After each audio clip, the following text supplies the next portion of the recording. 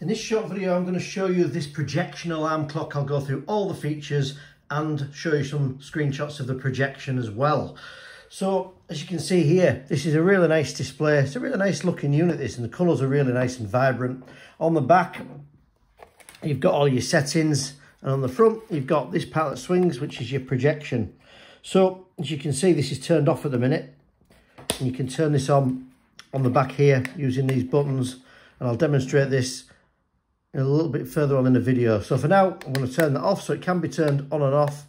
You've got different levels of brightnesses. So you've got one, two, three, you can see there. So if you're a light sleeper and you don't want this glaring at you in the night, you can actually alter this.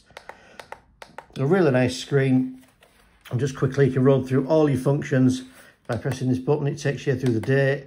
Has a temperature on it as well, which is really quite nice and takes you back to the time. And of course, it's got an alarm on it. So the really cool thing about this is it's got the uh, the projector on it as well. And this actually moves about, so you can project this into different areas of your bedroom.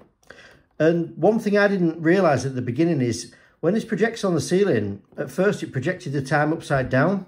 There's actually a really clever feature on the back of this where you can actually press this button and it turns it over 180 degrees. So wherever this goes in your bedroom, you can project this onto the ceiling or a wall or wherever you want. It's fully maneuverable, as you can see here. And the projection really is quite good in a dark room. So I'll, I'll just put some screenshots actually on the video now so you can see just how good they are.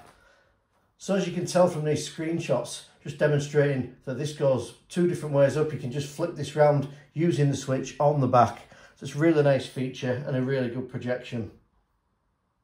So coming back to the actual product, as you can see here, this is just powered at the minute. I've got this powered by a power bank, but of course you could plug this in. Um, when this is turned off, you get this really nice kind of mirrored finish as well. So you can probably, you know, use this for other little things as well, should you want to. So all in all, with that said, this projection alarm clock is um, really nice, um, a really nice projection on this. Loads of simple to use features on the back, fully adjustable projector with a 180 degree turn.